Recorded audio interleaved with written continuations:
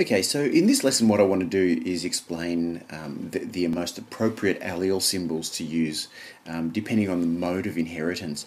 Um, so we'll start off here at the top with um, with complete dominance. This is what we've been mostly talking about, and, and we don't need to spend too much time on this. I'm, I'm sure that you know already that what we do is that for the dominant trait, that is, um, that is the trait that is expressed in the phenotype of a heterozygote, um, we're going to use a capital letter and typically we use a capital letter which you know somehow represents the trait that we're talking about.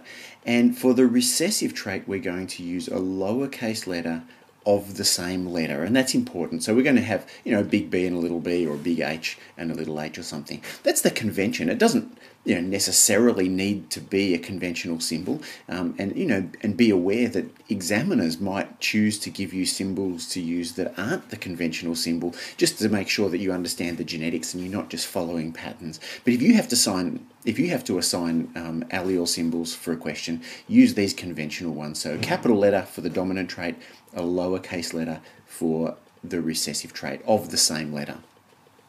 If it's an X-linked trait, um, we're going to do the same thing, really. We're still going to use big B for the dominant trait, little b for the recessive trait or the allele for that recessive trait. But the only difference is that because males have only got one X chromosome, um, we need to indicate whether the person we're talking about, when we're, when we're describing their genotype, we need to indicate um, whether they have two X chromosomes or only one.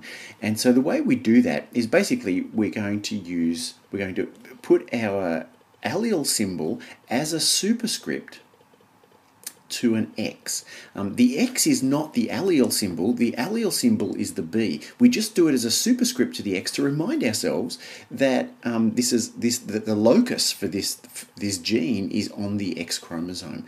Um, what that means, of course, is that a girl could have there's three different possible genotypes for a girl. She could be big B, big B, homozygous for the dominant trait, or she could be big B, little b, heterozygote, or she could be little b, little b, um, or, of course, a man could be big B, his other X chromosomes are Y, and we typically would write his genotype like this. We only give him one allele symbol, but we write a Y in there just to remind ourselves that the reason he's only got one allele is because he's a male.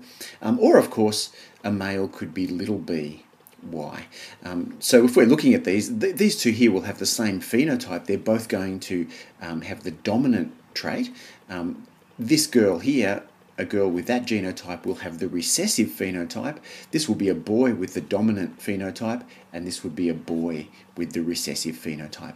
Um, but the thing to emphasize here again, um, at the risk of sounding like I'm repeating myself, is that um, it's the B that is the allele symbol, not the X. The X is just there to remind us that this is an X linked trait.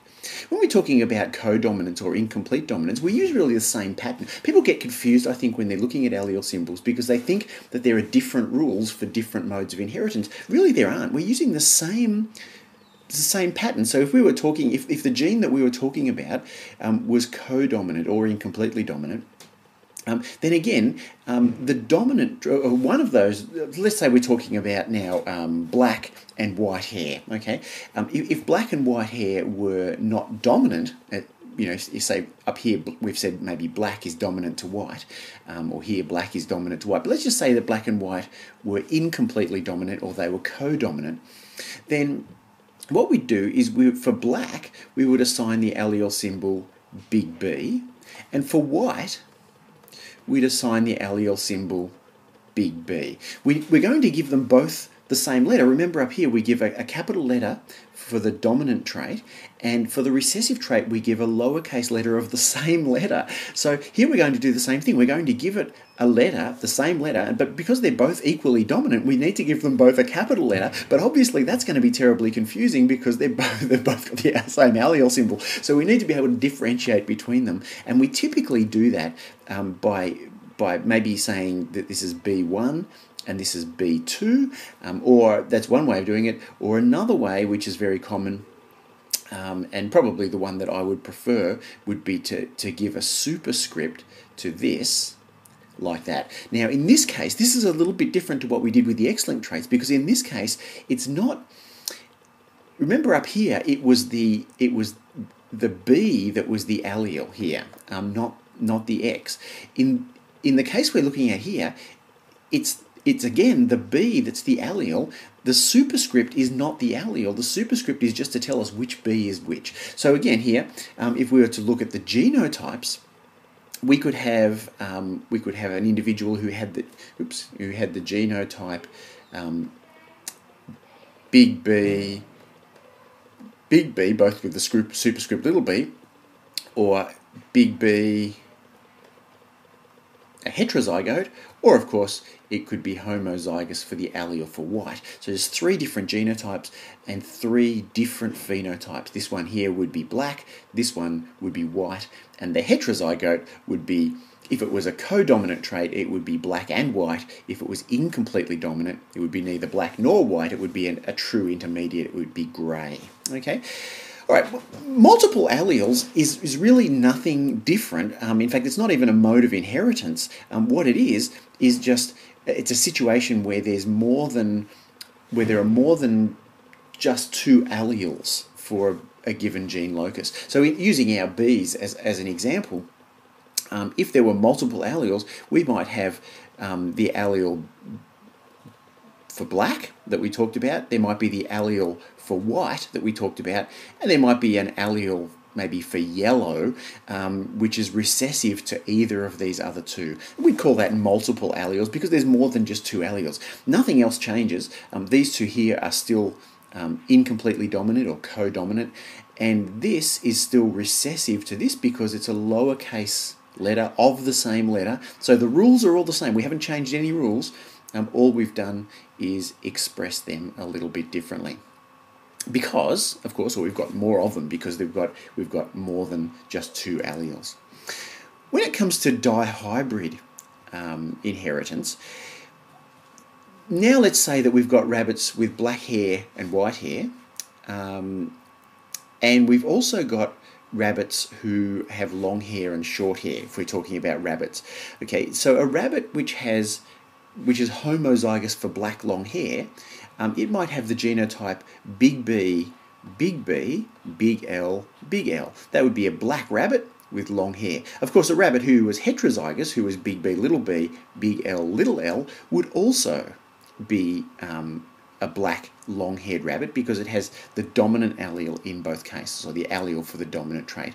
To get a white short-haired rabbit, we'd be wanting a rabbit who was homozygous recessive for at both gene loci. Okay, now before we get off this this um, here, what I want to point out is that if we know that the traits are independently assorted, that is, if we know that the two genes that we're talking about are not on the same chromosome, then we indicate that by putting a semicolon between the two genes. Okay, so if you see a semicolon between the two genes that we're talking about, that means that we know that the two genes are not on the same chromosome, that they're independently assorted. On the other hand, if the genes that we're talking about are linked, then what we'd do is we'd show it like this. We, would say um, we'd say it like that. We draw it. Now, people will look at that and they will say, oh, that looks like a fraction. It's not a fraction. What it is, in fact, if you imagine this, is it's a pair of homologous chromosomes, okay? And on this chromosome here, we have a, a big L, and on this chromosome here, we have a little l, and on this chromosome up here, we have a big B, and on this chromosome here, we have a little b. Okay, so what we've got is a pair of homologous chromosomes. One of those chromosomes has the has the alleles big L and big B. The other one has little l and little b. It's just that it's too hard to type that, so we tend to write it just a single line. And instead of writing our B's and L's on the side, we write B and L like this, and little b and little l like this. And in fact, that's even too hard to type. So we often, very often, we type it like this. Okay, and that expression means the same as that, which really means the same as if we were to draw a pair of homologous chromosomes like that.